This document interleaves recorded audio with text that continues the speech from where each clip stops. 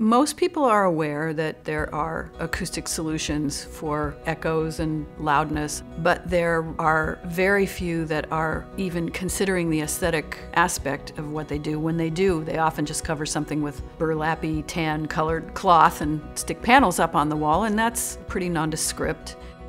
Libra is a, an artistic and acoustic panel. It's an image in a frame that has special materials enclosed within the frame that help to dampen sound in a room. It absorbs sound. We named it Libra because it's a word that means balance, art that helps to balance the sound in the room.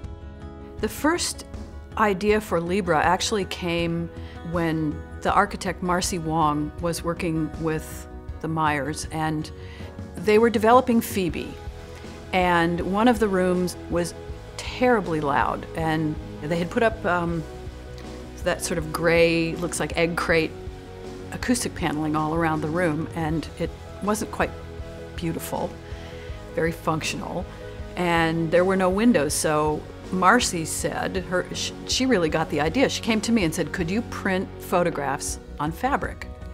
And I said, Well, I'm sure you can. I don't know how good they would be, but it's worth a try.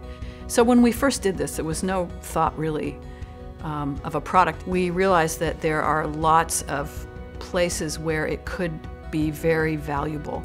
And uh, hospital environments, nursing homes, hotel, restaurants. So in some settings, a Libra might be just the perfect solution for that.